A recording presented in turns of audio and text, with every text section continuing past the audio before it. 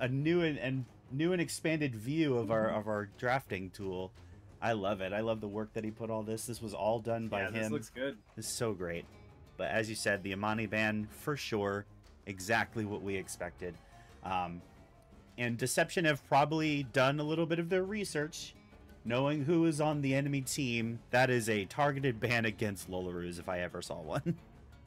Well, I mean, yes, it's a targeted ban against Lolaroos, but the I think it's it's we've come to the to the agreement between all the teams. When you're playing Siren Strand, when you're playing Sanctum, you ban Imani. On the other on the other maps, they seem to be feeling out whether Imani is 100% uh, uh, auto ban.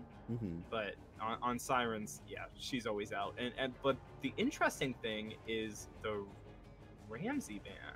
Yeah, this is actually the first Ramsey ban I th- uh, ban I think we've seen in any tournament so far. Um, he does seem to have like a. There are sometimes he kind of shows up and has like this priority pick, or or just appears somewhere in the team draft eventually. But we've never seen him banned, so very interesting. The insta lock Margrave though for deception. Yeah, the it's just such a safe first pick. It rounds out your draft immediately. It, it covers so many defensive options and so many offensive options for initiation. Yeah, It's hard to ever argue, argue against picking Margrave first. Yep, and just as a reminder for everybody, uh, in this tournament we are allowing mirrors, we're allowing uh, ditto matchups, so we can very easily see a Margrave on both teams, uh, which right now they are hovering, um, and also a little bit of a reminder, uh, since it was only mentioned once yesterday, maybe twice. Rutger is banned due to bugs not being quite fixed yet, and the Kajir being banned because generally he's just way too overtuned right now um, and it's super super easy to abuse that damage output to win uh, the tournament. So he's just he's just banned. They're banned. We will not see them.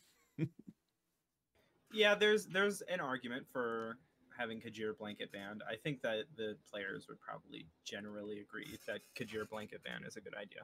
He's he just kind of he's just doing too much right now. Yeah, I think if it wasn't officially banned, I know that probably a good amount of the players would have at least been like, okay, we should just gentleman's agreement to not play Kajir right now because he's kind of Right. ridiculous. Either that or he has to be banned or picked.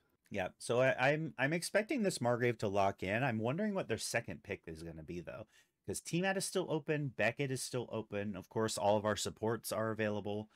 Um, actually, this is a this is something to bring up. Uh, last week, the other tournament, we saw a lot of like Aisling priority, and sometimes she was even banned. We actually have not seen her at all on a team. At least the teams that we, uh, at least the games that we covered on on stream. We've just like she's kind of just gone under the radar apparently.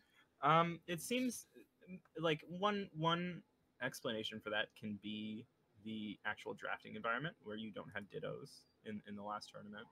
So being able to kind of isolate your opponents on uh, there's the Margrave or the T-Mat uh, hover now, and they're both locked. So we do have Margrave T-Mat. Definitely but called you can one. make the argument that picking Aisling early and banning out Sven, or even like double pick, like there there are real reasons to pick the Aisling early because you can strand your opponent. That's very true. Um, and it might just be that teams prefer the Sven comps. Yeah. In in the uh, Ditto environment. it's looking like it might possibly be a full Ditto uh, team versus team here so far, with the T-Mat and the Sven being hovered right now. Oh, and an Aisling. I brought it up. It's like they can hear me. No, they haven't locked it in yet, but it would be really interesting. Nah, Yeah, there's the Sven. locking in Sven for sure. And Siren Strand, very strong pick considering immediate access to a jump pad without any sort of investment. You can use that to get up to D point. You can use that to help your team escape. Uh, pre and post clash D point, I might add. Um, just Sven's got everything. like we can never say enough how good Sven is in this game. Just how good of a character he is. He literally does everything that you want from a support. And He's extremely rounded. Mm-hmm. It just well, he's round and rounded. Yes, I agree. Yep, yep. So what are, what are we what are we thinking off the gimmick side right now? Do you I think mean, Sven Beckett or, or Sven, uh, Sven some kind of assassin. It's probably going to be a Sven. With Margrave T-Mat, you tend to lean a little bit more towards the Sven than the Aisling. Um, you've already kind of picked that T-Mat that wants to sit back and, and plunk away instead of the Aisling, while she's good in the in you know the defensive kind of plunky comps, Mhm. you really she thrives in the brawl comps where everyone's taking damage at the same time and she's healing a bunch across the entire team. I'm wondering if we're gonna see uh, the sneaky kind of Mozu or uh, perhaps bringing in like Wu for this team. Wu is really really good. Um, kind of pulling in the T-Mat and making her basically forced to use her escape to get distance because the rockets don't the rockets don't lock super super well when you're right in melee with somebody because they kind of launch above her and then they have to like curl around and most of the time they just end up falling to the floor doing nothing. Um, but a, a, a Wu here would be really good against that. Um, i don't feel like mozu right now is a good uh, choice. I would figure that might have been drafted a little bit later just because there's only real like there's only one real ranged threat right now on the deception side Um, I mean, there's a very good argument for Mozu into T-Mat Sven. yeah Uh, she she's very uh, efficient at taking down both of those characters. She can beat a team. She's one of the few range that can beat a team a T-Mat and just sitting there and fighting you because of her reflect. yeah Um, she's definitely she very also safe is, yeah, right. One also one of the few range that can punish a Sven uh, on their jump pad out. In in the in those rare situations where Mozu can kind of do those aggressive TPs and not get punished for it, she can actually. Like I've I've seen that I know I talk about Anubis' Mozu all the time. I've seen this happen a million times when he's playing that character yeah where someone is low HP, they jump pad out and they're out of stamina, and he can just finish the kill. Yeah. Uh, Charnok, Mozu locked in. We now have a, a ton of wound killing on the board for Gimmick. Yeah. There's a ton of creature pressure there. There, I mean, all three of those characters are are can just melt through creatures and wounds. And this actually looks very similar to the last game that we saw yesterday, or at least the game that uh, me and Northstar saw yesterday, where Gimmick actually drafted four range characters with a Margrave on Ghost Reef. Not quite the same map as Siren Strand, but still, I feel like it can pull off it's some even better on. Sirens. Yeah, it feels probably. like. 'Cause- Deception 'cause locking in. You can just play the rotate game. That's true. Deception locking in Roland and Tyto almost immediately, finalizing their team. Very, uh, I kind of very honestly, I really team, like actually. the Roland pick. Yeah, Roland's very strong. Roland, the he has two very viable ways to build him. You can do the more mid-range build with the scatter shot, or you can do, honestly, like a really good Imani impression with his long-range shot. Yeah, the slug shots Um, are the the slug shot seems to be a fan favorite recently. They do super super well. Uh, just a ton of damage each bullet, and then there's a second tier upgrade that makes it they have no fall off damage, which is ridiculous. Yeah. It's He does a crazy good Imani impression on this map. kind of insane. Um, and where you kind of lose me is the Tyto, to be honest with you. I It, I don't necessarily disagree. Uh, or or yeah, I don't necessarily disagree. I do think that this makes a good, well-rounded, like very quote unquote standard traditional composition of the you know the front line, the support, two ranged, and an assassin to finish off kills. I, I think it's a I think this is actually pretty nice. An Oru hover right now. or just, I mean, run around the map and kill the creatures. Yeah, this is kind of what I would. This is kind of what I was saying, where they they're kind of thinking of drafting this four range composition. Uh, if they don't lock this in, I would almost think that they need to put in some sort of like assassin slash finisher style character. There's a lot of poke possibly here from gimmick side, definitely for sure, uh, both single target and AOE. But uh, right now, I'm kind of worried that gimmick won't be able to close out kills, especially considering that they have a Sven like clutch save right now. I'm not. I'm not so concerned about the closing out kills. Range characters do so much damage in this patch that someone steps out for half of a second before range on the enemy team, and their health bar is just gonna turn into ether. Yeah. Um, the what I'm more concerned about is picking this Oru. I didn't like the Tyto pick beforehand. Okay, the Aisling pick I like a lot more. I do picking like this too. Oru raises picking Oru raises the value of Tyto Yeah. like tenfold. and Aisling he is now has- locked in. Okay. Yeah, picking a fourth range there, increasing Tyto's targets by 25% of who we can actually go on is very, very impactful. Now he can still go on an Aisling, but the idea behind the Aisling is she's going to make it generally harder for the Tyto to kill anybody on your team. Already trying around this D point. Yep. And it looks Lucky like Tiger tries for one interrupt, but nothing comes of it. Just a lot of health loss, and he's in danger. so. It actually it seems like I've mixed up the teams right now. Gimmick is actually Laren side, and Deception EU are Orion side, or uh, or Gren side. So I'm gonna switch that real quick. Right now, it seems So- as though uh, Gimmick have decided to. Gimmick has reached D point, and they've they've put points on it now. There's a big fight happening here on the F already. Yeah, Gimmick uh, kind of skipped D point to try to get control, or sorry, uh, skipped G point to try to get control over D early, but they fought the fight and their tank died during it, even with the uh, slight player advantage at the beginning, and now we're 10 points ahead. Yep. They found a kill somewhere sneaky uh, on the map, maybe perhaps uh, before we were really able to officially join in. And uh, now they've got control of D, so they really just have to sit back. You know, they have to watch C. C coming up, about to capture that power. Uh, and Deception need to make some sort of move. They need to they need to fully dedicate to go doing one or the other.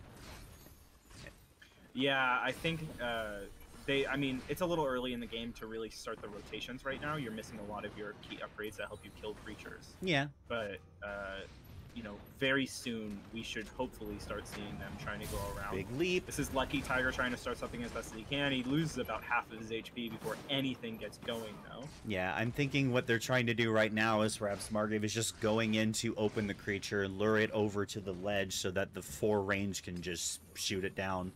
Uh, Aisling. Sorry, the three range can just shoot it down. Yeah, and, he, and then Ashley could very easily do that much better with Kador. Lucky Tiger going in yet again, just trying to trying desperately to start something. He's already half HP, and Kador's dying as well, so we're we're losing our healing. Oh no, I was now right. the the creature's also half. Laundromat will pop his ult, and Lucky Tiger will fall shortly afterwards. That's 170 Rampage going down, but we're not done with the fight. They're trying desperately to get out, but Tylad will go down before that happens. No. And now we're in a pretty good spot to where we could push their creature or get damage on this wound. Okay, that was my bad. The names were right the first time. I should have just trusted myself. I was I was overthinking it. Deception is Lyran, gimmick is Gren. My bad. So that means that Deception actually get this first push, and they immediately Yeah, get the this wound. It's just I think gone. the T-Mat ulted it. It was immediate. I feel like it wasn't moving, and then all of a sudden it was just boop. Bye, bye first wound. Question is now can they get out? It looks like they're okay. The Sven jump bad for extra safety. Big Charnacle. Arnold goes down, but they're already out of the area. Yeah, they're gone. They're they're out of It, there. Charnakal just feels so weak nowadays, you know? The the burst damage just doesn't do anything. It, it's good for wound killing, but in a fight, it's so underwhelming. Laundromat feeling worse for wear, but Floof goes. Uh, Floof takes a kill on the enemy Aisling before he can go down, and he is healing up on the Bloomer. Yeah, this So this fight's looking worse and worse for Grenside with Oh, a Charnok low. It's out. found by the Margrave. Yeah, Margrave using that charge just to get back out of there. He had plenty of health still either way, but it's better just to take what you have. Now Deception have two kills. And uh, we haven't even gotten to the second rotation of power yet. Like this will this will be a full 100 if it just goes all the way to D. But they're pushing back in anyway. They they want to find more. They seem to have found their stride here with Laundromat backing up, but doesn't look very scared to be honest with you. He's got another stun and could go back in on this very squishy backline. Two of them are half HP already. And there he goes, trying for it. One of them fell off the cliff and they won't get hit, but he'll find Aisling anyways. just this this constant pressure on both sides right now. Both teams are like being very smart to not actually fully commit into enemy territory, and uh, Deception will just take the kill that they found there in that middle fight and go back to D. This is very smart by them. They they know that they just have to wait, and once again, Gimmick is not going for this side interrupt. They're just letting C capture. I don't even know if they know it's a bloomer. The bloomer could die really fast. Yeah, it, it feels like they're almost not certain that they can kill the creatures fast enough before the rotation comes through. Part of this rotation comp is you do have to kind of stall your opponent for a moment um, do something like what Lucky Tiger is doing at the moment, and then instead of committing your range to it, get them out and It's do that rotation really quick. it's taking so long to get done though.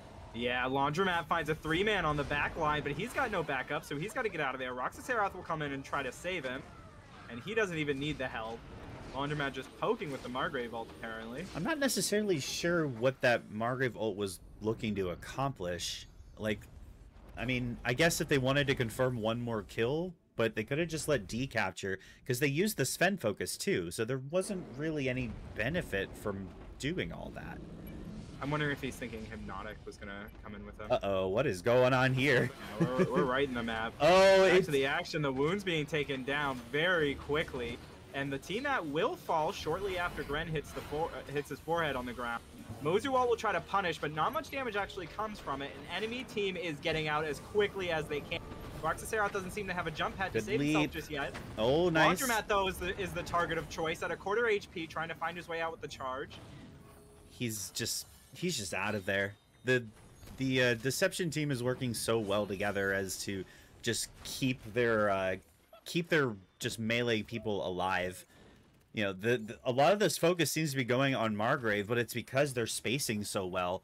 Uh, Margrave's really the only one that's ever in any sort of line of fire. Like sometimes Sven is, but Sven is Sven's also got a lot of health, so you can't really Yeah, chunk him that well. Straight into the into the idea of the Margrave, where he, he wants to sit on the front line and take that damage, and he is. He's doing it while his team is getting stuff done, which is important Yep. thing. Lucky Tiger, oh my gosh, that's a lot of damage. Tylad has to pop it to get out of there, and no one dies from it, but that was scary. Yep. It, it, the laundromat seems to be. It, it just seems like backup from his team is coming through a lot more consistently. So now we're Um, finally seeing these rotations happen, but it's Deception that are pulling the trigger. Staying a little bit too long, but this a should get out no problem. fight. Laundromat is in a little bit of danger here. He's already used his charge. His leap should be coming up, but he uses aggressive aggressively. Lucky Tiger will fall. He's just trying. I don't even know how Laundromat got out of there. He had nothing to his name. Yeah, Lucky Tiger's trying so hard to find these potential picks, but now he's just staying too long. He's trying to do what he's trying to do what Deception's Margrave is doing, but it's not working. So now Deception have a kill ahead and still control of D. We haven't particularly been following this Tyto very much. I'm wondering if he's kind of going around and just disrupting the backline in these fights. He probably is. He's definitely been flanking a whole lot, kind of not staying with the immediate, uh, not staying with the immediate pack of deception, which is smart. That's kind of what you want an assassin to do. Um, but it, it- they're they're communicating super super well. You know, whenever whenever deception decide to commit to fights, I feel like Tyto is actually just there. Like they know he knows when to go in. He knows what to look for. Lucky Tiger is trying to stop this bloomer on the side, and Hypnotic's going to respond here. This is what he what really the ranged of his team should be doing. But on the other side, they're trying to initiate in the D point, and this feels like a little bit too little, too late as the team adult comes down, and Aisling will just disappear off the screen. Yeah, there's They have to get out of there immediately, and Hypnotic finds another team, uh, uh, finds in the bag. I mean Looks like a bleed's going through on him, and he'll fall shortly afterwards, and it's 100 to 60. Yeah, there's three people. I mean, they'll be up in time to defend this, but like, is this going to be three pushes, three wounds? is this really that one-sided? I'm a little surprised, to be honest. But let's see if This they can make it done. it there there must be something more going on here that we're not seeing. It's possible. The it just feels like the damage is not coming through on Deception side in any Just- A lot of things going on. This wound, actually, defense seems to be going pretty well so far. Deception lose somebody. Margrave has to retreat. Margrave actually two dies. kills off to protect the wound now. Three. This one's not going off, and Roxaseroth dies shortly before Gren gets back up, so that power is not going to them. But that leaves open a very defenseless D point if they want to try this push, and they will be coming in shortly afterwards. This could be Lucky Tiger. this could be the game-changing moment right now if they kill this creature and then oh, we're clipped into the wall, into the ceiling. Siren Strand, man. Ace of Spades is like a quarter HP in the middle of that fight, and he will go down shortly after that creature hits a quarter HP. So that push didn't really even find much damage onto that D point. Yeah, deception now super super low, or sorry, gimmick now super low on the back And strap here. Here for the punish. They're in.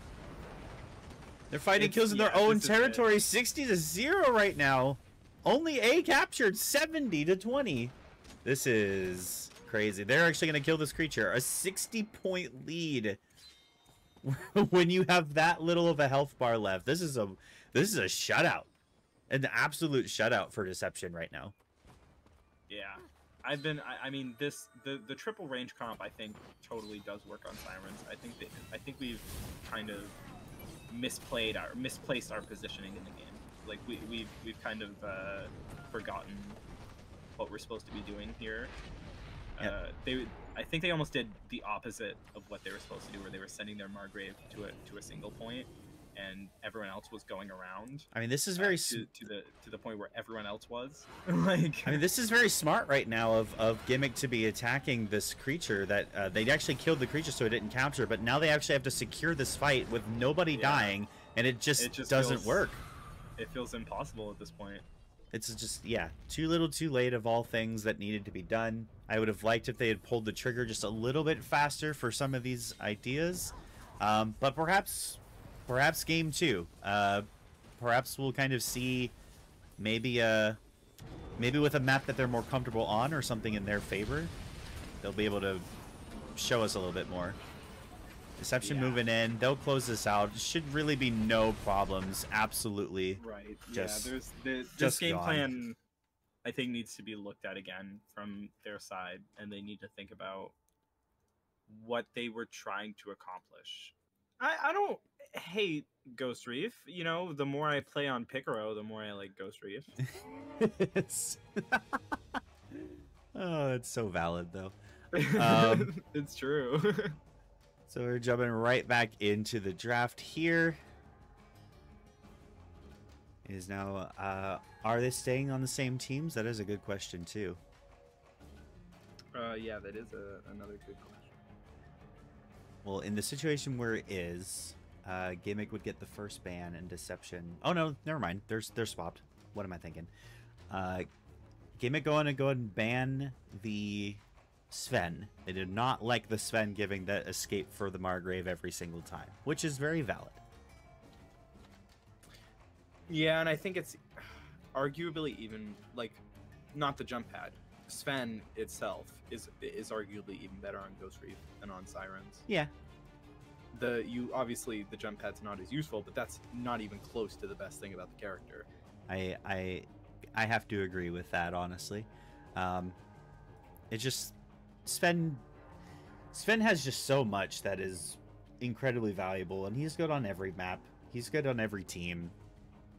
It just there's not really a reason to not pick him if at all possible, unless you just feel like you don't really need a support in your team composition, which we have seen. But uh, I mean, even even if you feel like you don't need one, you probably should pick it anyway. And I was about to bring up the Imani ban Right. here. This is probably confirmed for sure. Deception just don't want to deal with it. Oh, it's Ooh, okay. The Roland swap over. No, it's yeah, I'm not convinced with the Roland ban. yeah, it's it's got to be Imani for sure. Okay, yeah, that is confirmed, locked in, uh, as a ban at least. Deception just don't want to deal with the Loru's uh, Imani. There's just no way they're gonna let that slide. I don't blame them. I've played against it a lot. It's it's not fun. so, uh, gimmick. I mean, honestly, probably just gonna be another Margrave first pick. Just it's it's so universally. it's hard to argue with the ar- i guess like one of the very few arguments against margrave first pick is that it makes it very clear what you're drafting towards you're, you're when you pick margrave you're picking a traditional comp Yeah, that's very fair. There's an Oru hover right now. I was also going to bring up the possibility of maybe a Pakko, um, but bringing Pakko up first kind of has the same problem where if you want to play Pakko, you kind of know how to fight against him. You could very easily draft against Pakko, so it's hard to really bring him in as a first pick. But it is going to be Margrave in the end. That is locked in. Yeah like i said it's so hard to argue against margrave the on reef even more so he like there are so many places in reef where i feel like Margrave's stun is undodgeable it, it's really gross. He's so tanky. He's like the like I said, I hope I'm not hoping, but I'm kind of like part of me. There's a spark inside of me where I'm like, man, maybe they actually nerf Margrave in this balance patch because he is way too strong. Maybe Like, they- maybe they do a little bit. Nerf. Yeah, secret Margrave nerf. Uh, I mean, what would they do though?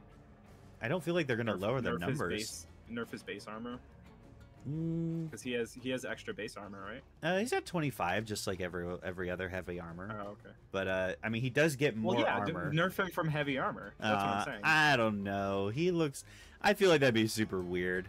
I think It there are other be- things that be could really be different. weird, but This immediate lock in of Zandora and Knossos on the other side. Let's talk about that. this is not we've what I've seen. Zandora Knossos on Reef before. Yes, Okay. we have. I'm not saying that it's not what I've expected, but this comp has been shown to not only work but actually have a lot of, especially against Margrave.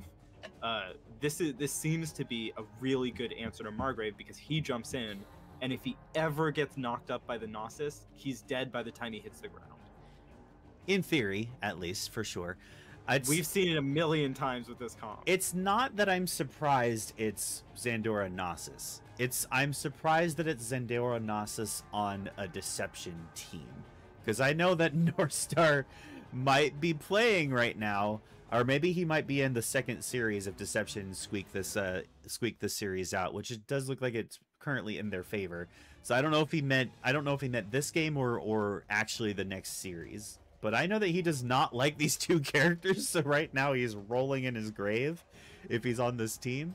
Uh, and that's just kind of I don't know, maybe they're maybe they're believers now. But going back to gimmick side. I don't know if you watch League of Legends esports. I do. I do. Okay, have you seen that clip of I think it's Perkz where he he picked Vayne mid Mm-hmm. and he's like trying to convince his team where he's like, guys, guys, it's a win, it's a win, it's a win, and his and all four of his teammates are like rolling their eyes, scoffing at it. Like that's North Star right now, just the opposite. Yeah. Like, Everyone's like, "Why are you doing this?" Um, but that's a good comparison. Gimmick on the other side here, immediately locking in Oru and T-Mat. This is very safe. Um, they're they're kind of expecting Deception to pick like a third melee here to have this mini death ball. I was talking about this yesterday. Hovering the Ramsey, they're committing to it either way. But the Oru's got some good AoE lockdown with uh there's a clash talent that he has on his RMB that makes his cards pierce.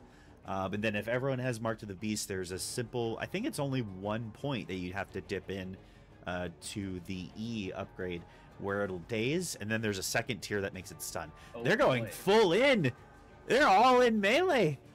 I think this might be the first if they do pick this and then like an Aisling afterwards because the Sven got banned. This is this is actually a good reason to go Brawl Comp. This is Um, so death bally right now. This is the first true death ball that I think we've seen casting together, right? Yeah, I think so. Pakko so is smart. A great, Pakko's a great pick into it. Pakko is The- very smart right now. Yes. I've been saying, I think Death Ball, Death Ball, we're, we're about to test it. I think Death Ball might be secretly OP, and people aren't really playing it. Um, yeah. Because Margrave is busted in this patch, Aisling is busted in this patch. Knossos feels like he does so much damage in this patch and can like absolutely nuke through single targets.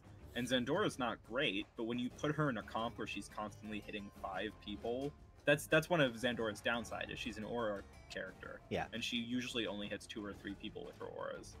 When you're in a death ball comp, you're hitting five people with your auras 24 seven. Yeah. It's it's it's just so easy to kind of piece together why in theory it would work. I do think that there are a lot of good answers on gimmick side right now just with the application of CC, kind of the AoE potential both damage wise and lockdown wise. Um I'm wondering what their fifth pick is actually. Kind of looking at it, I'm wondering like I don't think they're gonna pick a support. I think it might be Aisling. It's fifth pick Aisling. no, no, no, not deception for gimmick. Oh, okay. No, I know what I know what deception's pick is gonna be. Uh, I think the Pakko is smart and Charnok as well. Yeah, locking in it now that that was revealed. There, there are some good AOE answers here. If Deception isn't careful, there is really good potential that Gimmick will just obliterate them with their AOE. Like there is a lot of zone control with this team right now. It's Pakko, I don't know if that's the right pick. Okay. it is locked in though. Pakko My problem with Pakko is you're so you're going into a triple range comp, right? Yeah. As a, a brawly death comp, death ball comp, Your plan is to hopefully outlast your opponents and whittle all of them down at the same time and, and use Knossos to maybe kill one person at a time sometimes. But most of the time, you're looking to whittle them all down at the same time and just outlast them with your sheer stats. I think. uh, has a lot of stats, but Aisling lets you survive way, way, way longer. Yeah, this is um I, I kind of have to agree with part of the chat going on right now.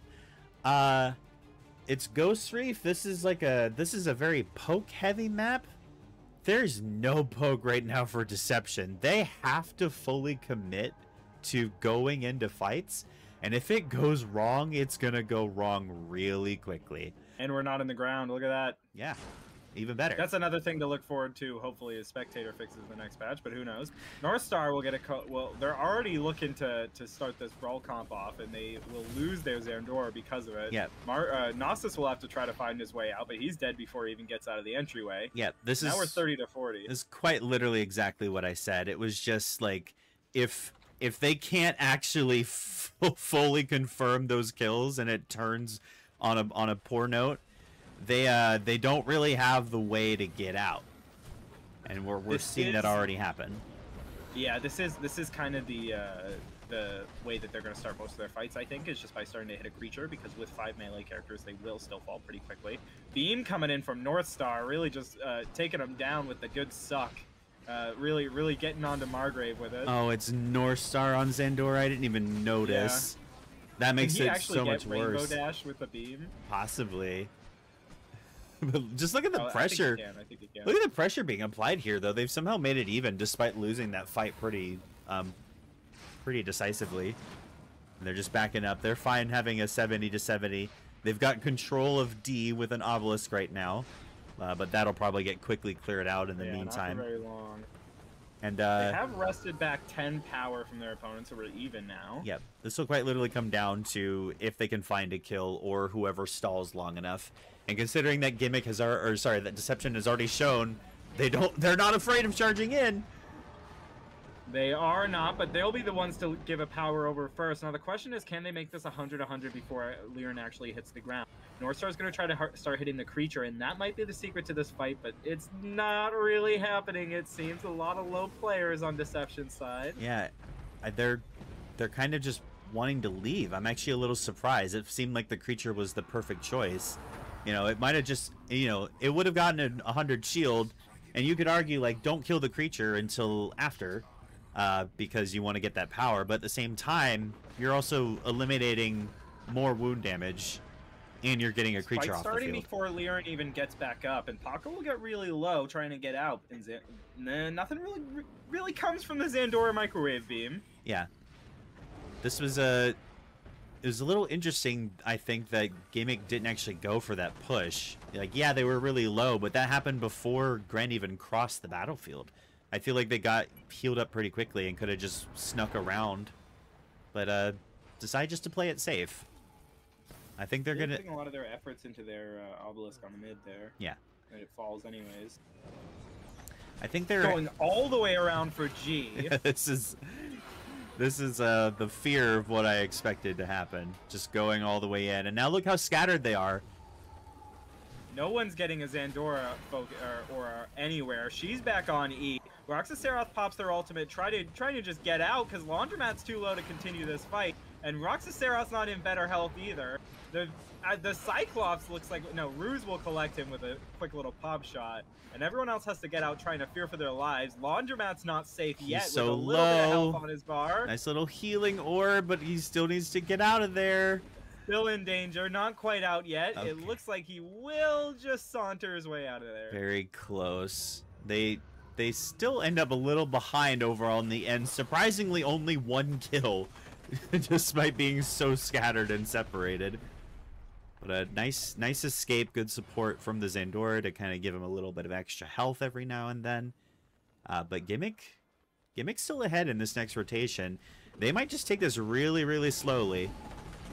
they're still keeping this very even, even though it looks like these fights are kind of getting blown out for Deception. And they will try to catch this Margrave, who has no jump anymore. Not really a safe way out, and he will fall shortly afterwards, so that will tie us up. And Margrave's trying to find the Charnok on the way out. Or, sorry, Knossos is. Nothing will come of that, but we will get a collection on Ramsey shortly after the fight ends, making us back to 70 and 80. Yep, and with D rotation coming back up, I mean, Gimmick just have to really make sure that Deception don't get this uh, this middle point, which currently they are in contention to do so. The Obelisk does prevent them from, uh, uh rather does prevent Deception from capturing. So uh, right now, it's really just a stalling game. Yeah, it's kind of it's really dangerous for this brawl comp because if they go in at any point now and lose two players, now it's a push.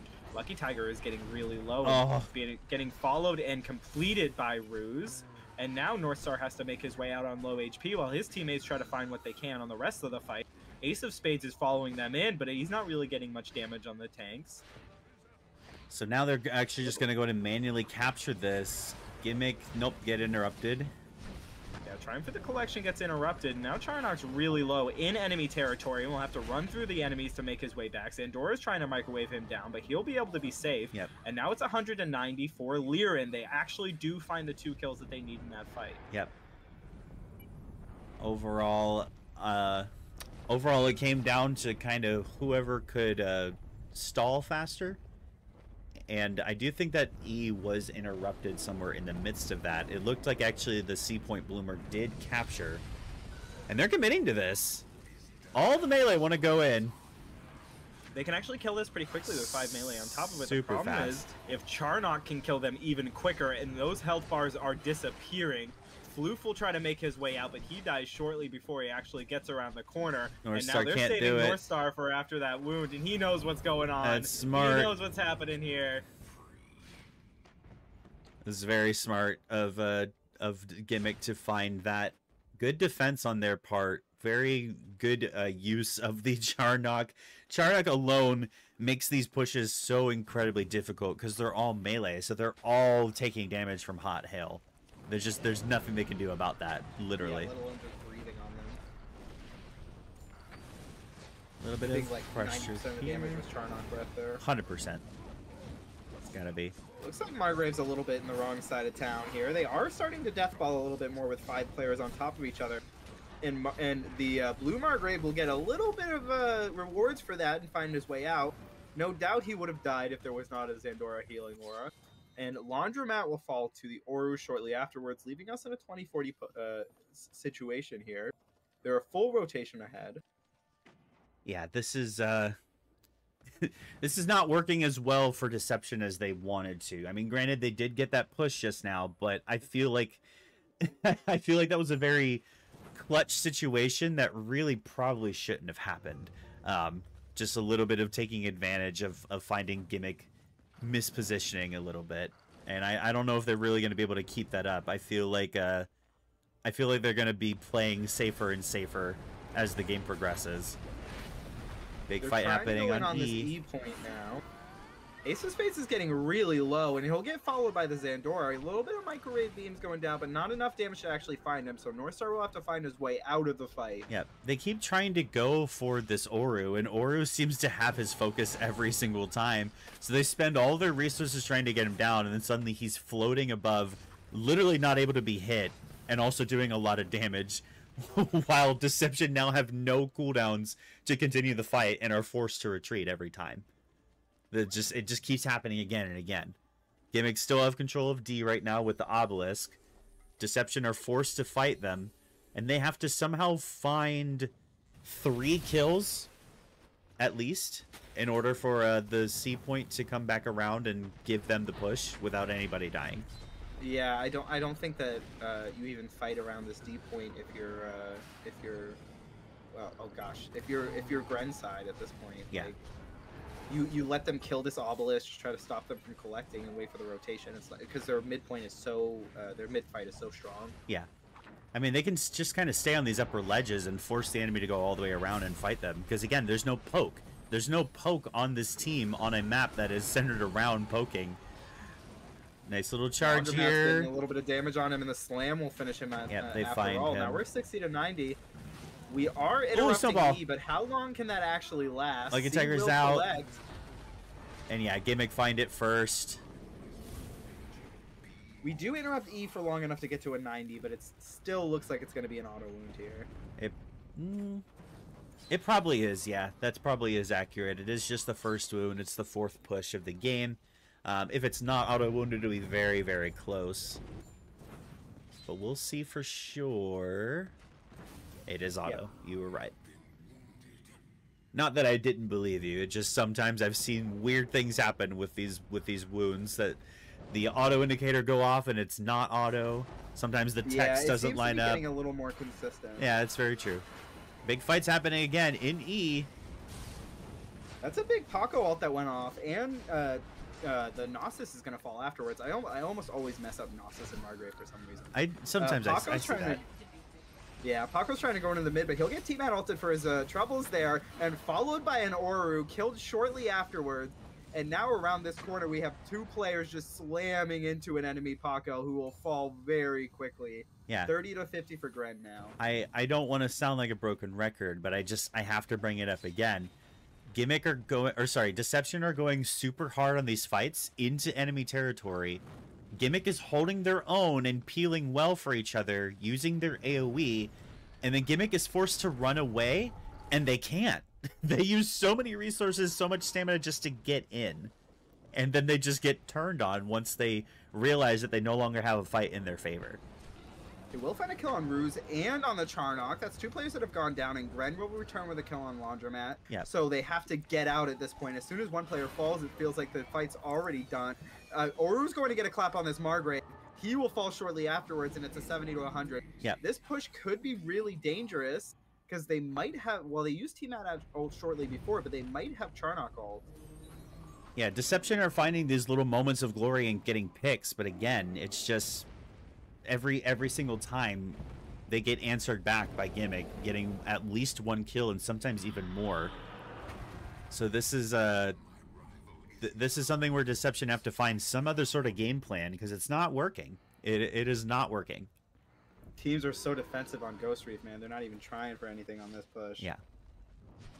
This is a, I mean, I, I can't imagine anything else honestly than taking it slow on on some of these Ghost Reef games. I mean, at the very least, you have to position better, right? Like, Yeah. They just got the obelisk for free, basically, because they didn't position aggressively when they're when nothing could happen to them.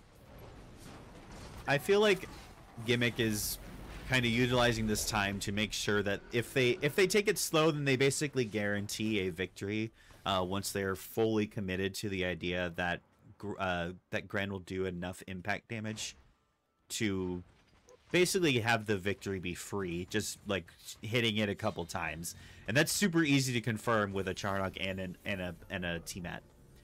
You know, and, and Oru's no pushover either when it comes to wound damage. Right. I'm not. I'm not saying go in and and like try to kill the wound, but like at least position a little bit better to, to have more to do immediately once the once the wound falls. Oh, I know. Have some aggressive positioning there. I know that. We're having a little bit of a party happening over in C right now. Um, this is. a I little- think they've decided that they don't want to fight their opponent anymore. They're they're slightly ahead on power, and they can sit back and chill. yeah, I was about to bring that Now, up. The problem is That's probably why. midpoint's coming. Nice little snowball here. Big Margrave ult comes out. Two Margrave ult back to back, but one of them was on a brawl comp and it hit four different players. That's quite a bit more impact than the first, and Ramsey will fall because of it into the Charnok ultimate. Now the power has Lots been evened out. As well.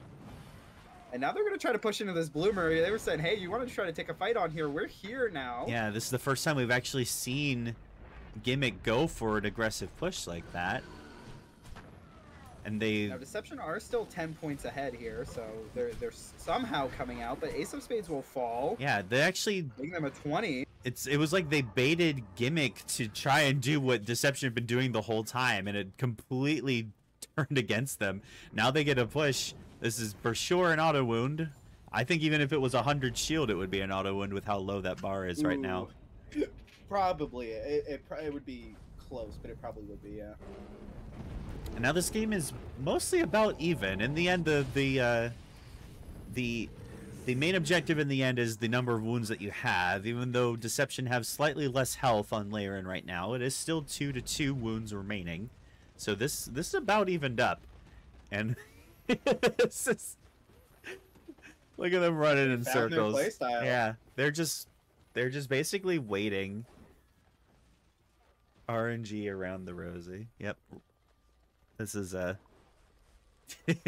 this is this is some silly things going on now at this point. I mean, I mean, they. I think it's right at this point. Yeah. They they don't have an Ashland to heal up the damage they take when they're trying to initiate, so they have to make them initiate on. Yeah, uh, basically they have to wait for the initiation at this point. yeah, it's it's like they kind of heard what I was saying. It's a matter of them just saying like, "Hey, these these pushes are not working. We're being super aggressive going into enemy territory. We've lost almost every encounter doing so. We should probably just wait until D comes up and then fight there." And that's basically yeah, what they're doing. Their midpoint control is, is super strong, so I think I agree with this. So right now, Gimmick looks like they are under the impression. I- I'm I'm given the impression that they know that this is the case now, and perhaps they're also just waiting until the rotations fully rotate all the way over to D, and then they're gonna stay on They- this yeah, high they ground. might be accepting it. Yeah, they're gonna stay on this high ground. They're gonna watch this long stalemate of both sides just sort of playing around, or at least Deception is playing around, and, and Gimmick will wait until they're forced to basically make a decision, or they will guarantee lose the push. Just gonna be sitting here for quite a while. This is the beauty of gigantic sometimes. Yeah, this is this is gonna be one of those games. Oh, looks like we do have a fight starting. Someone, oh, the Oh, they found Oru. will get caught out and die in the midpoint. Somehow that happened, and now we're ten points ahead. This is exactly what they want. You think they were waiting beforehand, ladies and gentlemen? Now they're about to play Ring Around the Rosie even harder. Yeah, it's like Oru just stuck his nose a little too far, and they punished him for it. I didn't even really see what happened. Just all of a sudden, I heard a focus go off, and then Oru was dead. it's just Yeah. like, what happened? Just watch this Back poke. to waiting on C. Yep. And this is uh this is one of the few times we would actually see a Knossos not take the Taurus upgrade on his RMB. He's using the spears as basically their one and only projectile, aside from Oh, the wow. snowball. So uh That's funny. It's- He hasn't taken the upgrade yet. so- yeah, no upgrades at all. He's probably just saving them. Big fights happening here in middle. going on the Oru again. He seems to be consistently out of place, but this time the ultimate is there to save him. Yep. Just kind of use it defensively and Here also comes a collection. Something's got to be done about this. They Yep. will run in to try to stop it. I'm actually a little surprised that that he stopped. It doesn't look like he actually got stunned or interrupted. I think he just stopped manually. He was a little afraid, but it was also Margrave. Okay, that time they Nice, actually not did stun. Very smart. That was actually really close. That would have been their push capturing that. This can continue because if I, I mean if uh, Deception collect, then they'll get the push. Yeah. And the rotations are actually going all the way back to B and F. That's how long this push has taken. But if it doesn't get interrupted, like Gimmick right now need to go over to B and, and interrupt that. And Ramsey is positioning to try and make sure that that doesn't happen. Going for the manual capture on D. Nope, he won't do it anymore. Deception, no. Corruption is not important to them. They're just going to take the 100-100 push here. Yeah. And it will go through, so a fight is inconsequential inconsequential at this point. Yep. And I, I don't think that Deception will actually go for this push like they did last time. 100 shield while the second wound is still full health. That is certainly not something that they can, uh, not certainly that they could commit to. And if they did, it would be just catastrophic. Like we're talking full team wipe sort of effort here. So yeah, they're gonna stick by C. They're just gonna keep spinning in circles around each other. And uh, yeah, this is this is the game that we're watching, ladies and gentlemen. This No is reason uh, to do anything drastic. yeah, yeah. We can go ahead and just take a little time and watch some of these uh, upgrades. I wish we could see the order that they took them in, but uh, that is not the case right now. Um, yeah, firecracker about pretty uh, optimal. Counter with a with a weakness counter. Yep, pretty standard. No right click upgrade. I'd like to see the damage upgrade on that right click. Yeah, well, I actually that's a good call. Is this a? Yeah, that's a. They have started a fight here and started with two kills on the side of Deception. T-Mat will try to ult to collect someone on the back line, but the uh, defensive Pakko ultimate catches too, and those are two players in a lot of danger now. Knossos on a quarter HP will fall to the Ruse Plinks, and that's a pretty good fight for both sides, leaving us with only 10 in uh, on Deception. 40 to 30. Yep. So this is again another situation where gimmick is just sticking their nose a little too far. Deception just collide all together on one person, rapidly kill them with all the melee, and then now they're just gonna sit back and do even harder what they were already doing, just spinning around in circles at C point. Although they're a little more positioned this time, kind of in between, and maybe wanting to try to find some more uh, points here again. Uh, but back to the I think point. they can just continue what they've been doing. I mean, Yeah. just chill out and let the uh, let, let Lirin do the work for you at Oh. this point. He wants to go in, but no, he misses the sun. He's still really low on health. And yeah, they're just going to leave. Nice coverage from Deception to make sure that their Margrave gets out of there. He'll get healed back up by the Bloomer. And yeah. Um, but what I was going to say, I think the market that we were looking at was actually gimmicks. So I don't think that taking the damage upgrade on RMB would have really been that good. Ah, gotcha, gotcha. But well, uh, you should take Reflect. You should have that already, probably. Yeah. Deception probably would work better with the reflect RMB. Gimmick could probably go for uh, the damage one. That's probably why it hasn't been talented at all, honestly. It's not really doing that much for them with five melee being on the team. And yeah, Deception, D point power coming up right now. They just have to push. They don't have to fight this. They just have to stop the collect at this point. Well, I think right now they're just pushing, trying to push Gimmick back into their base, but they didn't even actually fully fulfill that. Now Gimmick can channel this power. Does get interrupted. But even grabbing D right now would only be 90. I don't think that clap actually kills anybody. We have do have some low players on the side of Deception, but no one really Oh, Knossos is stuck! Other than the Knossos, getting body blocked really, really well there, and lots of damage coming out from Oru and Charnok. Nice making the Zandora combination. Just disappear. And now we're 80 to 90, and this mid collection is a possibility. Yep. With Pakko only on half HP, trying to keep these three players away. Got There's interrupted. a Ramsey in the mid trying to stop Charnok as well. Yeah, Now there's an interrupt on the point, and 80 to 100 push comes through. yeah. E Gimmick point captured. really good. E point captured. There were only so many places they could be at once, and they they had to somehow stop. They, they had to somehow stop C from dying and anyone on C from dying, stop D from capturing, and stop E from capturing. That was a really really tough call to make. So even at 90 shield, it does quite a good amount of damage. Deception, or sorry, gimmick uh, once again not really fully committing to going in here. Deception will take advantage of that by just clearing out the obelisk. They are. Oh, they are going in. Gimmick is looking to try to finish this wound, and Deception is just sitting back and kind of letting it happen. They're all very low. It doesn't look like they will get it in the end, but they have to kill both the players. So low. Yeah, that would have been dangerous to kind of let it sit. It was a team a T-Mat, and we know T-Mat does a lot of damage. Uh, I think I think that was a good call to not risk it and get those last couple points, because this means that they still have two buffers at least. It's a it's a close and very sloggy, slow game that we've all we've all seen on Ghost Reef many times before.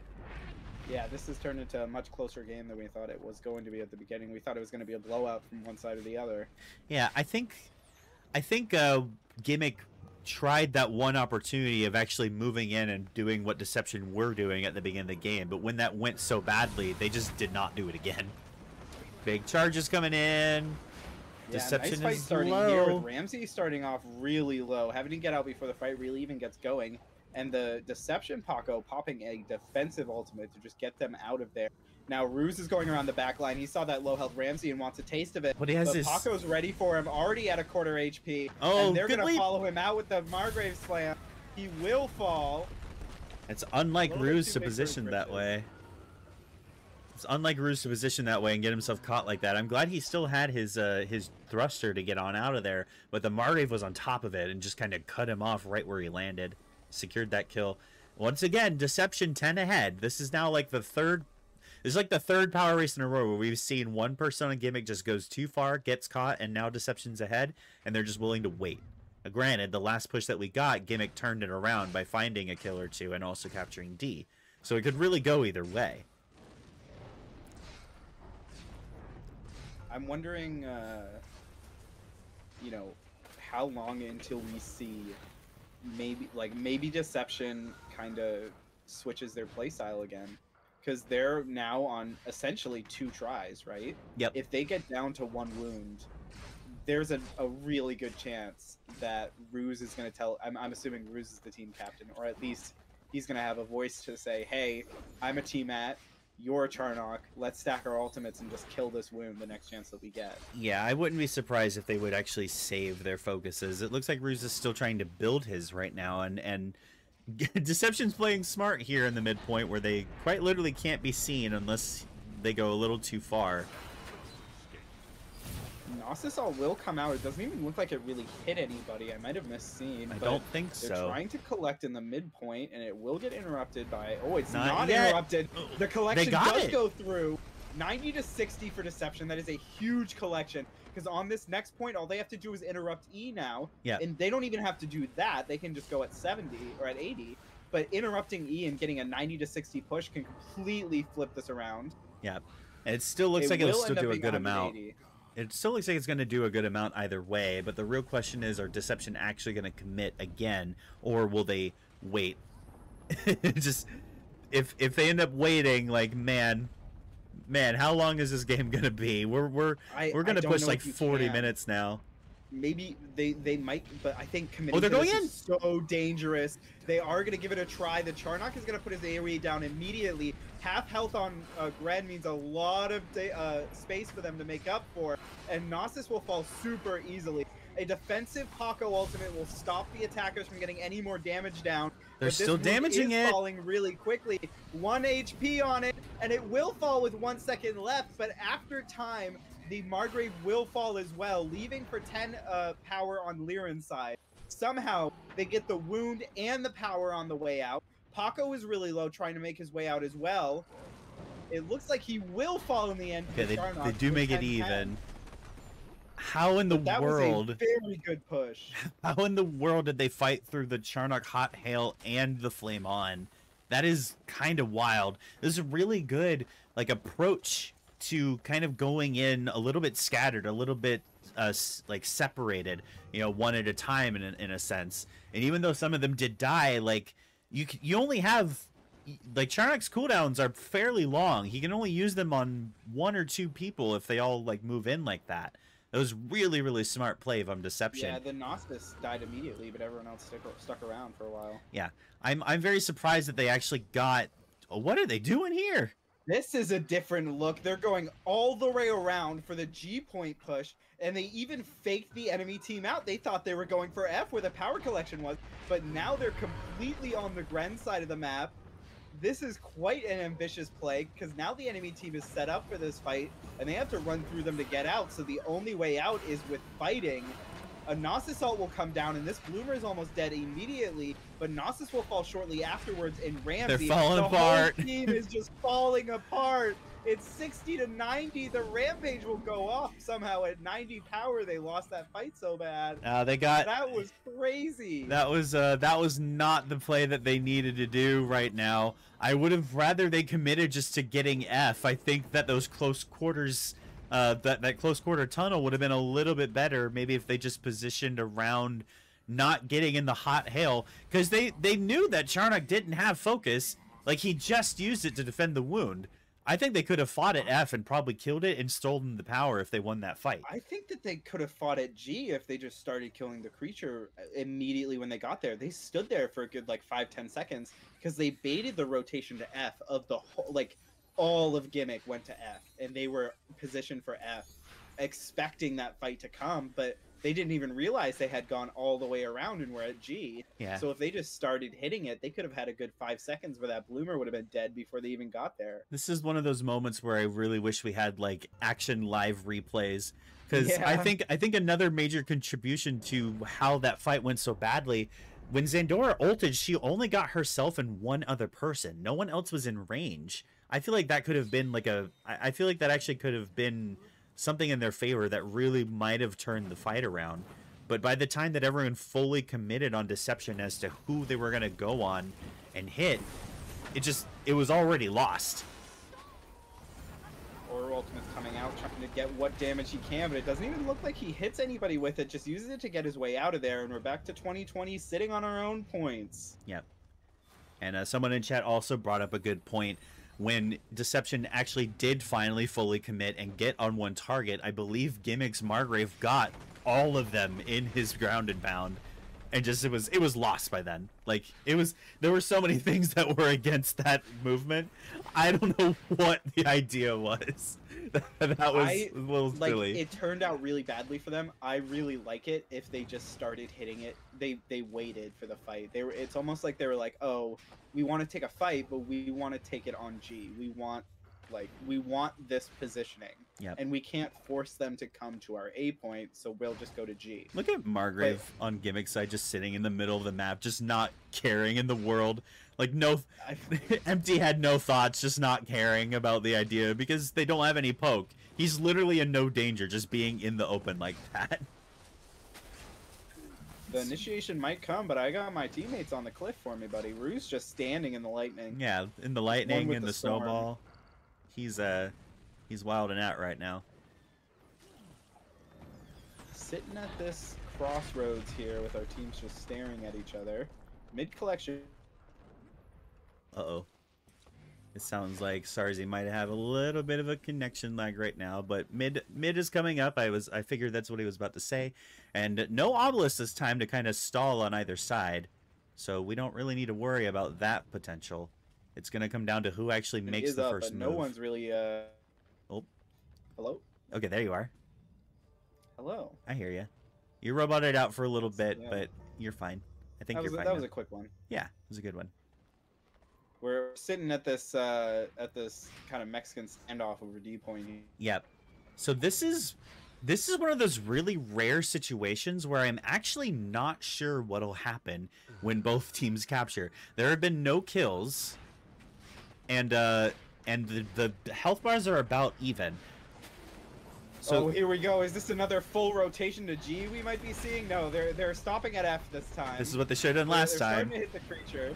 Big flame but on. Now with this F corridor, Charnok all does a lot of damage. They will find the two kills that they need before it actually happens, or rather the interrupt that they need Yep. to make the push happen. But they can't actually get out. yeah. So So, they will fall, making it a 100 100 and maybe a bloomer afterwards. yeah. Deception do But win the another push push. anyway. Yeah, Deception winning another push, but with another 100 shield, I mean, at this rate, they're going to need, what, like 10? Like 10 consecutive pushes before it gets low enough to feel like they're ready to commit? Maybe maybe more like 5 or 6. I'm being a little too, uh, being a little too uh, presumptuous there. But, like, the point being, the, this is, I already thought it was going to be a long game. It's going to be an even longer, longer game. And yeah, I mean, this is this is gigantic when it comes down to it. You know, this is uh when this you're is when you're playing for the power rotation. Yeah, everyone's on everyone's level 10 on both teams most likely. You know, we're just we're just sitting and waiting. Like, come on guys, we've got we've got three other series to watch right now. They've probably already started.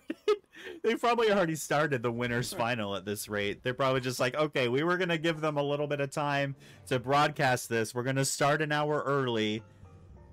And now like now they're just like, okay, how long are we gonna how long are we gonna wait here? So, uh, you reading any good books recently, Wolfie? no. no. I can tell you I can tell you maybe about what sort of projects I'm gonna be looking to do very soon. yeah. Uh, but mm, before we get to that, might find a little bit of engage here. No, they're just gonna get out. Look like they tried. So my next idea right now will be a short series where I'm actually gonna do a map by map, uh, like kind of creature guide. My oh, personal Oh, be recommendations, sick. yeah, my personal recommendations on what I think are good creatures on what points and why. Ooh, Oh, big focus on Knossos. We're looking for an Oru kill here. Knossos ult will get popped for it, but he's already almost dead by the time that he gets out of there. That's a power differential now, ladies and gentlemen. Yeah. If you so- thought we were standing around before, oh boy, now we're standing around. So this is this is one of the few times that Gimmick has actually gotten a little bit ahead in, in a taking advantage actually of deception that are the ones that are uh, kind of sticking the nose a little too far. They tried to go for that kill, and it was a good idea. Like Knossos getting landing the gore, landing the focus. That Oru was very very low, but no one else was really around, and Oru didn't even have to use focus. Oru, Oru had enough like stamina just to run away. You know, the bleed wasn't enough damage to actually finish it off, and then they took advantage of the Knossos just not having any more cooldowns to get out. That's the that's the one Yeah, you know, downfall Dave, of Dave Knossos. raises a really good point. I want to remind everybody that if Gimmick wins this game, there is another game that we will be playing in this set. Exactly. So we're really we're really playing for the long run here. Gimmick is going for game three here, and a big ultimate in the middle of the enemy team from Ace of Spades. He's trying to finish this game off with style and one HP, trying to run away with it. He Oh. will survive under Gren because the slam comes through, That and punch. now we're in danger here. We got to get out of here. Nope, but he'll no. fall. Yeah, he will fall. That's uh that's a really dangerous position to be trying to dive someone directly under Graves' forehead. And E actually captures. Bren's. E actually captures before C gets a chance to even start like capturing as well. So uh this is this could possibly be a closeout for Gimmick. I think they want to try to win. They just used Charnok ult. I don't know if Team At has ult up yet. They uh, did. Let's look at Team Ed if at all possible. No ult. Nope. Yeah, so no, they're not gonna go for it. They're not, yeah. And also the I mean Deception is kind of initiating on them to try to stop their DPS from going in. They do have the Charnok very low here, but he's kind of cutting towards his F point. Just He will be found in the back. I mean, Lirin hasn't gotten up yet, so there's no power coming from that. And Roxaseros saying, "Oh, come on, guys, just kill me. You don't have to save me." No, they will. They will save you, Rox. No, Gimmick wanna Gimmick wanna win this and keep their their potential alive here. You know, Deception Deception are ahead in this game, and if Gimmick loses this, they are completely out of the tournament. There's a lot on the line running on this game right now, so uh, they they want to play to at all advantages if at all possible. Slow and steady. I think saving people in Gigantic might be one of my favorite like things that arises out of a meta in a video game. You know, yeah, where where you have someone at one HP and there's no way that they get out, but there's an actual reason to not kill them, and so you just sit there and they have to accept that they're already dead. like, Sorry, I'm noticing in chat what Dave just said. That was really funny. Uh, oh man, this is uh, this is uh, I'm I'm honestly running out of things to talk about. You know, you you brought up earlier competitive League of Legends. This is like one of those. Uh, this is like watching one of those games in LCK where there's just no kills happening. or like the 80 minute Dota 2 game. Yeah, exactly. like, Fight happening here. No one lost like on either three-hour- side. did you ever? It was like a three hour Chinese Dota 2 game. Yeah. That's that sounds like a nightmare, especially for shoutcasters. Oh my god. Yeah, exactly. What in the world do you even talk about? So yeah, we saw a little bit of skirmish back and forth just a moment ago, but overall nothing actually getting or coming from it. Gimmick still ahead, finding that one kill right after their uh, their guardian recovered. They're trying to pressure Trying this up, actually. but Oh, they did find another fall. kill. He's too big to hide behind that uh, Cyclops there. Yeah. Not a bit. Not a level two creature. Nice little clap onto the Knossos, but not quite low enough to finish him off fully. The gimmick now ahead on a rotation. D is coming up, which means if they don't let it, if they make sure that Deception don't capture, and it goes back to E and C, then they get the push here. It'll be The ball is certainly in Deception's court at this point. They have to do something, Deception have to make the move, and it looks like they are. and they will try. Pakko is going to be Oh, low on big this dive, focus. but they're way in, and they're standing in the Charnok ultimate. Laundromat's already down at a quarter HP, and he's standing on on top of a Cyclops that will kill him by himself. Pakko will use his ultimate on Ruse to try to get his uh, other teammates out of there, but Ruse will actually be flipped on, going down to a quarter HP and having to get out with his uh, with his jetpack. That that Charnok Flame on literally just saved that entire push. Like that did so much damage. If you if if again if we had the replay, you would have seen that on on D point, one of the members of Deception were actually uh, capturing that point. That's how they have 80 power right now. But that Charnok did so much damage to them that they couldn't actually get out in time because they were all so low. They're going for this. They want to end. Yeah, this is gonna be the end. Gimmick is gonna win game this sure. two, and we're going to a game three.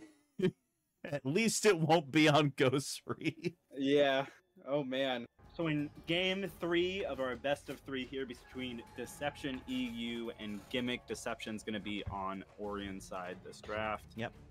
And then Gimmick on uh, Gimmick on the Devager side. So what are we what are we thinking? What what what's the universal ban here? T-Mat's a good On- hover. Ember Grove, Yeah. well, Imani's good, but it's not an Amani ban map, so we can we can save a ban on that. Oh, they're already Looks like we have already done. Yeah, Sven's, they're fully locked in. bans. Okay. Very fair. Uh Gimmick seems to really not like this Sven. I think this is two I think this is two games in a row now that they've banned the Sven. They they saw it on the Sirens, the Sven was just super helpful and they're like, "Nah, no more. No more deception. No more Sven." It's very useful on Ember Grove. Uh, I think the jump pad is kind of underrated on this map. There's nowhere for you to not not really many places for you to jump up to, but But it covers so much your- ground. Right, increasing your jump height on Ember Grove with how many weird barriers there are in between places, it often saves you. You, you can jump off to somewhere where you'll be perfectly safe. Yep. So on Ember Grove, I had a bit of a conversation um, with a couple people in the last couple days. On Ember Grove, it's like there there seems to be this idea that you really want to try to stick together if at all possible, and just have this team that can both stay together and push enemy objectives and if they and and at the same time if they need to they can separate and there's a good amount of interrupts to kind of keep both sides uh to, to keep both sides covered. So emberwood seems to really really value uh cc's kind of hit reactions. And that's okay uh, the Ezrin was a little silly there. I figure that wouldn't be the case, but Margrave for sure. I mean, every every map is a Margrave map. Every team comp does well with Margrave. That's why he's the best tank. It just Right. it's uncontested, you know.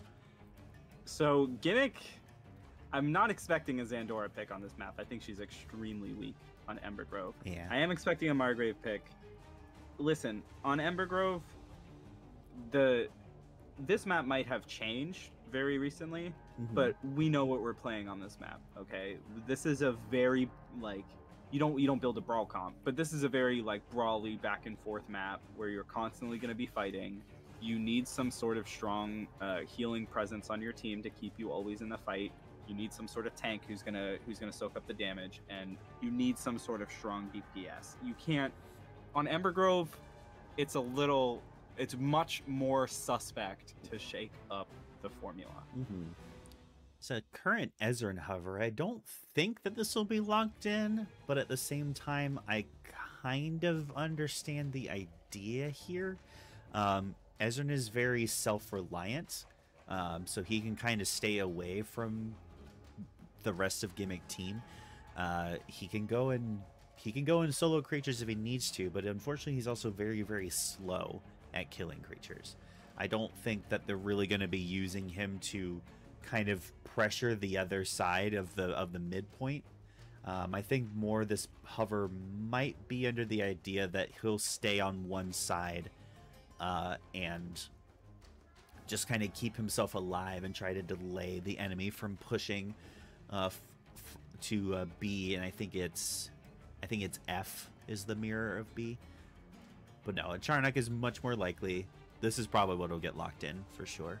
Yeah, I mean, I like the the tempo of a character like Ezrin on Mhm. Grove, where, where he's the kind of character who can always just be around 24 7. He doesn't ever really need to leave a fight, which is great for Ember Grove. Yeah. But I think the the amount of pure damage that you get out of a Charnock definitely just makes him a more useful pick here. Yeah. So Margrave, I we could backtrack to the first pick, Margrave. I wish we had like a stats screen or something that everything's getting tracked over the course of the last three tournaments that we've done. How many times? How many times have Margrave been first picked? It's easily the most first pick. It's gotta be. It's absolutely gotta be. It's kind of nuts. I feel like with the uh, I feel like with the non Ditto tournament, there was some potential that T-Mat might have been the most first picked, but I still think even then, like Margrave was up there. Got a got a, a Griselma hover right now. This is probably, admittedly, this is probably one of her better maps because there are a lot of different ledges and wide spaces that you can put these Griselma hands, especially on those cliffs on either side of the side maps or the side points. Um, and I think a lot of people are starting to really see the value of a Griselma hand cleanse because it can be triggered once every couple seconds. Okay, we don't want to keep giving Griselma praise. More likely going to be the Beckett here. Beckett's very, very good on this map. It's not really her best map, but Beckett is still just a really good character all around. I think it's like top two Beckett maps. Is honestly. it? Oh, okay, It's- really?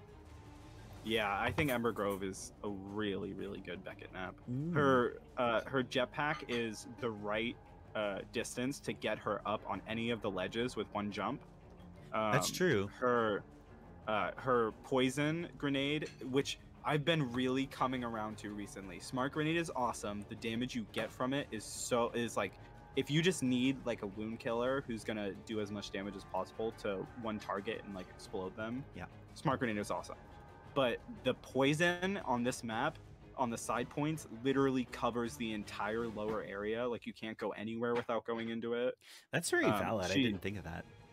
She she's a very strong pick on this map in my opinion. Yeah, and those hallways as well for the poison grenade. You know, kind of the hallways that lead to uh kind of down the pathway kind of towards your guardian Yeah. or where the Yeah. B points move post clash. That could also be covered a lot by the poison grenade.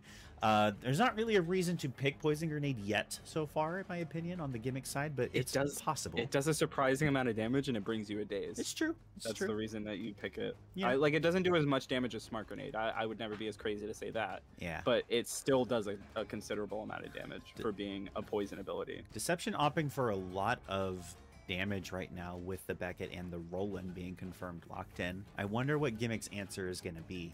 Um, Imani isn't banned. It's not her best map, like you said, but Lolruz is on Gimmick's side, and Lolruz loves his Imani. Uh, so there's a possibility here. Imani is also a really good pick against Beckett, considering if she goes airborne, then she's basically behind no cover and uh, will line up those shots and sniper out of the sky, quite literally.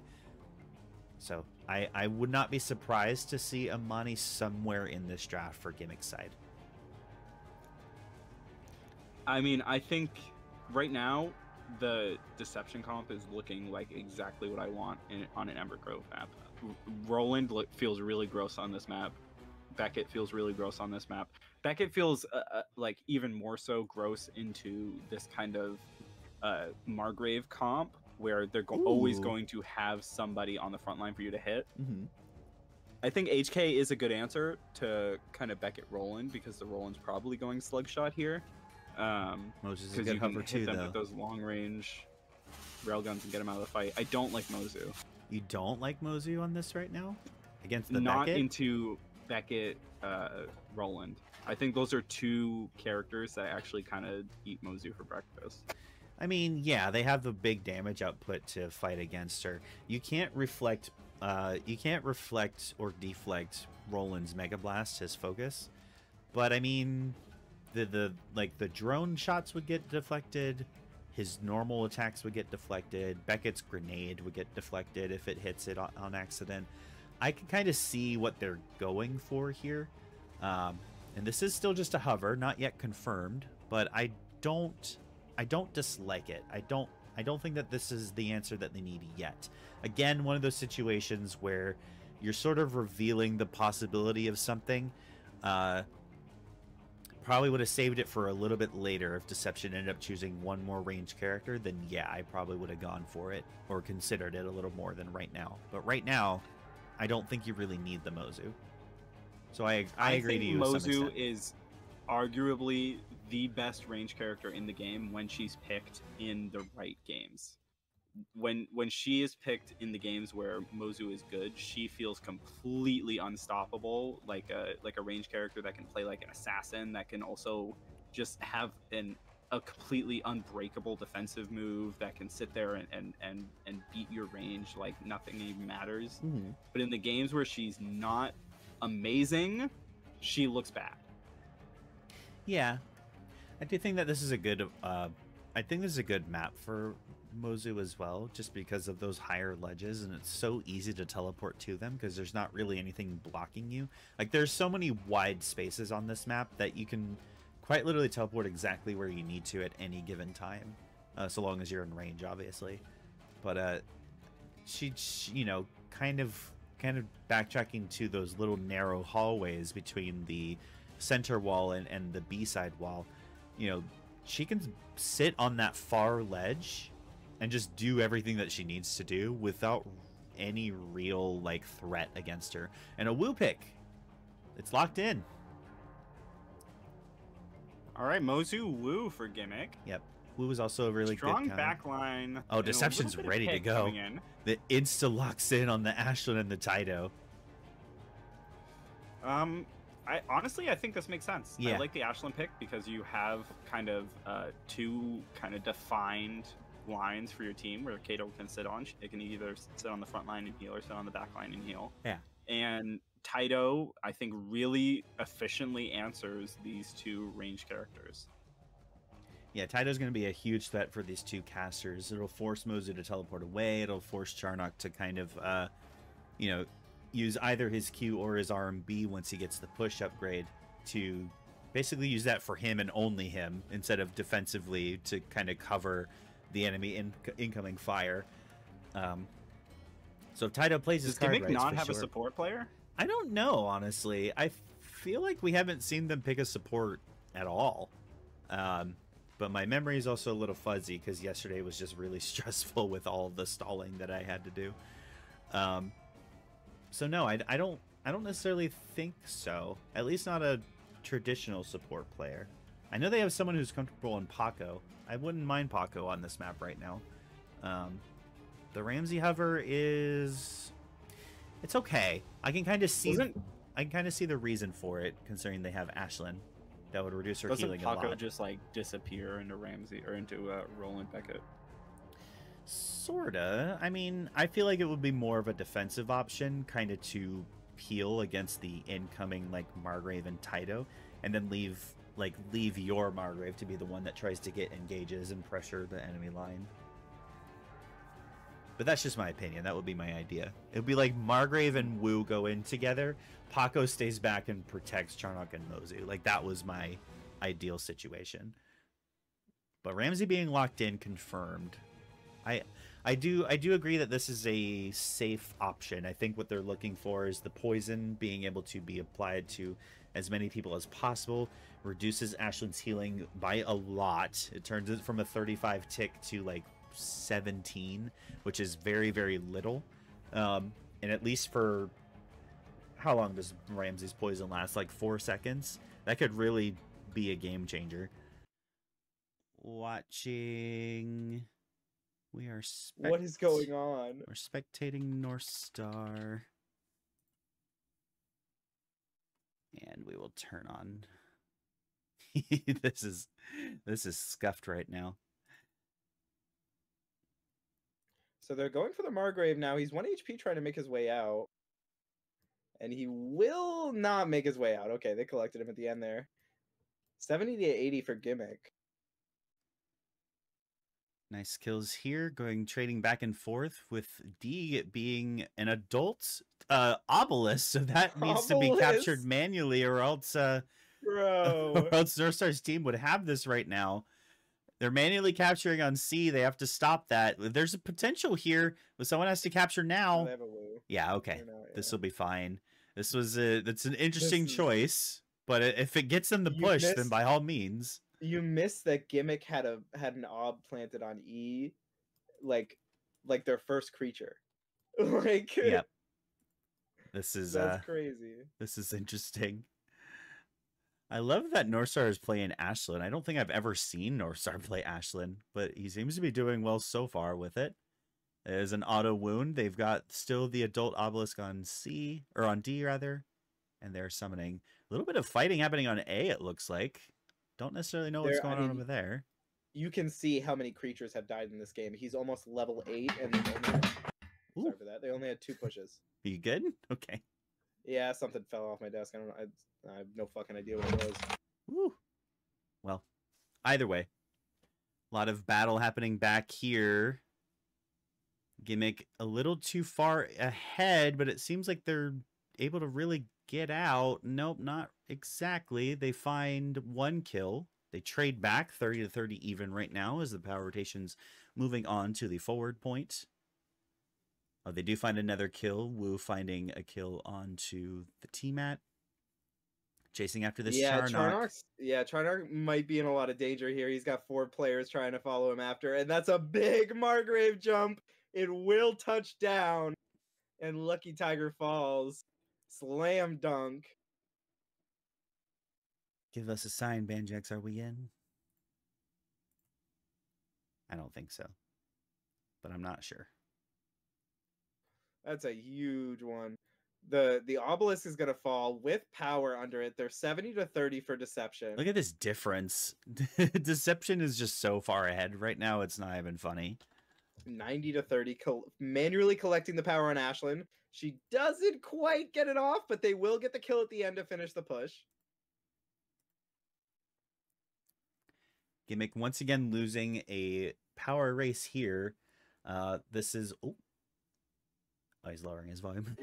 Valid. Ah, they disabled spectators. I see. Uh perhaps spectator was messing him up, which is fine. It's it's understandable. It is unfortunate that this is what we're forced to, but at least we can show something. And hopefully this game gets resolved super super quickly. It it seems as though Deception have fully finally decided to actually lock in and they're playing Yeah, they wanted to give the brawl comp a test. they're playing well out of their mind. They don't actually fully confirm this wound. and lose Roland afterwards. Uh, two people actually. Or sorry, they uh, uh deception lose two people. So now gimmick is 20 ahead. They're forced to resummon this uh Cyclops, which is a very smart choice. We all know that Cyclops oh on C. no! I, I saw it. oh, Wu tried for a cliff, but cliffed himself. Ooh, a little bit of, a little bit of a lag there, I think, or Oh, I have an ad. Oh no, I have a minute and a half ad. it's okay. I'll I'll I'll figure it out. Right now we're sitting twenty to sixty with Gimmick having sixty, finding a little bit of a good team fight there at the C point, and that uh, Cyclops is quickly gonna die. There's no one else around. It looks like they're willing to let that be for a while, moving over now to D, or at least three people on to D. Summoning another creature. It looks like that is also a Cyclops, and quickly moving to rotate for E, while the re- other two teammates kind of distract at C right now. I'm not entirely sure how Wu and Margrave are still alive after all that. Uh, the creature does capture. They doesn't quite. They don't quite kill it in time. So it's gonna be a push for gimmick. Yeah, it's a 100 to big one for gimmick too. It's actually their first rampage, so there's a good chance that they could technically make it even right now. Gren moving across, doing a little bit of his damagey moves over there. They get another kill though for 60. It seems like they're holding the defensive line fairly well. I don't know if Gimmick are really able to move in. It doesn't look like they yeah, are. it's it's really daunting to move past this Aisling Margrave because you have to walk through CC. Yeah. This is uh, probably going to recover fairly easily, and there's going to be another five on five group scuffle over on the most important point on Sanctum Falls, the bridge. Quickly kill that creature. Nice job saving it until it got low. And they're being aggressive right now. Oh, the enemy team is over at D. This was a misplay by Gimmick, in my opinion. They're not going to be able to answer this fast enough. Yeah, they're they're very mispositioned here. The D is is, is an important point. They're going all the way gonna- in. Yeah, that's what I was about to say. They're actually going to be able to continue with this push. Gimmick Now, needs to find an will- answer right now. Yeah, she, they're getting a lot of pressure on this Charnok. F is falling very quickly, and that's where the power is collecting. That's what's important about this is if they can kill his power point, which they do get a lot of power from their collection, and kill the enemy creature. They're now fifty to twenty. Ashton's got to get back to in there though. So so now Gimmick has to kill the enemy creature or, or kill the enemies on their point, and then somehow collect the uh, the power that has been sitting there this whole time. Yeah, they're opting just manually capture. They're not even resummoning, and it gets interrupted. There's the interrupt. They yep. they probably should just summon another creature. But that's just my opinion. And they're actually now there's two points. Eh, the Northstar is collecting power. yeah. It didn't matter that three people actually ended up dying. no one was able to stop him, and they just needed the twenty power. So might as well manually capture, right? It's just taking just taking power in their own base right under Gren's nose. And this is a Yeah, I mean, going through to F there was a really nice play. That's what I was. I was immediately thinking, oh, they're way out of position. Go to F. hundred percent an auto wound, and we'll move into clash after this. Yeah. So D is open. We still have full control of C. We have replaced the Cerb- or the Cyclops with a Cerberus, which I think is smart. The uh, Cyclops wall on C post clash is not very good. It's everything pre clash, not the best post clash, in my honest opinion. So Cerberus is a fairly good option considering how much it moves. And they're here to defend. Nice positioning. Yeah. This this is uh, starting to get harder and harder for Gimmick to break through this line now that they have this even more defensive point. And Aisling pretty much heals everybody when you're standing in that point. And just all the time. Oh, she's getting a little focus right now, though. Needs to be careful. Get out of there. needs to get their way out, and uh, Northstar does find the little ledge here. This is my favorite little spot in all of Gigantic. I'm, I think, is that little ledge on the outside of that point of Sirens. Yep. So we're we're witnessing just the oppressive power of of an Aisling who can keep herself and her team alive basically at all times. The ticking healing just ramps up so quickly over the course of even just 10 seconds worth of healing is uh, like around 350 almost 400 health it, that's it's a lot you know it just and the fact that it's so constant it, you can have this longevity in fights that you don't otherwise see with the other supports in the game. We actually even saw earlier before that full fight even broke out, Kador died, and Northstar actually opted just to use his focus just to get him back. Like, not even use the focus aggressively for what the focus actually does, quite literally to respawn Kador so that he could continue applying those benefits. And that's really smart. So I mean, we're gimmicks in a pretty uh, between a rock and a hard place at this point. They could plan on D. Uh, it, that's a dangerous proposition because you're just giving it up for your opponent to potentially just kill the creature that uh, kill a creature that you can't defend. I would have actually wouldn't have minded if they went for like an obelisk summon over there just to make sure Yeah. that it wasn't fully neutral and open right now because Wu is just over there by himself, uh, like able to interrupt. He's just weaving in and out so fast, interrupting every single manual capture. Now Margrave's there is going to make it way harder. And the, potentially the two of them can find. They even find somebody. They find a kill over there, according to the kill feed. If this goes on for any longer, oh, they're just holding the power. Yeah. Yep, they just collect the power. Yeah, All right. 100 to 60 on this push. I don't think that they're going to go for an end here, but they could. It's it's possible they could position here. They have the uh they have the damage reduction or rather the armor value that is providing damage reduction and the ticking healing from Kador. They could position for this. I think they're actually going to give it a try. Yeah, I think you do go for this wound here with the level one team on roll, level one roll and all. I think you can totally do enough damage to it here, and they will be trying their best. The damage is starting to come in. You can see that that thing's starting to fall pretty quickly with the team at all slamming into it. Aisling gets into the middle to try to provide as much healing as she can. Yep. But only about a quarter of HP left on this wound, and their damage is done for. T-Mat falls, and Roland gets out without even pressing F. Yeah. They don't Might quite have to go finish to the another. job. Don't quite finish the job. And according to the kill feed, apparently Aisling is dead all the time. kind of look at that top left corner. It's a little funny. Um, but yeah, this is uh it was very nice defense on gimmick, but still with control of C right now that Deception have, it's really only a matter of time. You know, it's gonna be the same exact thing. But Ooh, Laundromat gets out on one HP. they're showing signs of life though. They do kill the creature, but will they have been able to do enough pressure to stop deception from getting uh, back in there and resummoning? I Very hard to, and it to looks really yeah, it looks like the answer is kind of no. this is the problem one of the one of the problems with sirens is once a team has control over the c point it, it kind of all becomes this insurmountable effort to walk in there Um, and you're just kind of poking, poking, poking, hoping to push them back so that you can take control of it. Kador is dead. I repeat, Kador is dead. but now he's back, so it doesn't matter. Yeah. It's just it's ridiculous. I mean the the blow the the the trades are going blow for blow here. Like we're still fairly even, but it's it's in the favor of deception right now. Ace of Spades is a little bit too far in. They mm. have rested control of this point, and Ashlenald, for the first time in forever, is actually a little bit useless. Knocks or a little bit useful. Knocks him against that wall for a little bit of CC. Ooh, that but was scary. overall, he doesn't die. Yeah, they're not resummoning, which is pretty smart because the the gimmick is actually able to keep the pressure pretty strong here. So it would have just been most likely another creature just dying and giving more power over to their side. But there there's still no control here. This is a very valuable point that they can't actually move in. And they need to have someone move over to D. Manually capture here. Oh no, he's summoning a he's summoning a storm drake or not storm drake, a, a, a cyclops. Cyclops is amazing on this point pre-clash. Nice kill on the Margrave, and now this if D ever collects, it's a push for them. Yeah, Now hundred they to now they just interrupt E and wait for B to come through. There are so many win conditions on the board, and all they had to do was find one, and inevitably they did.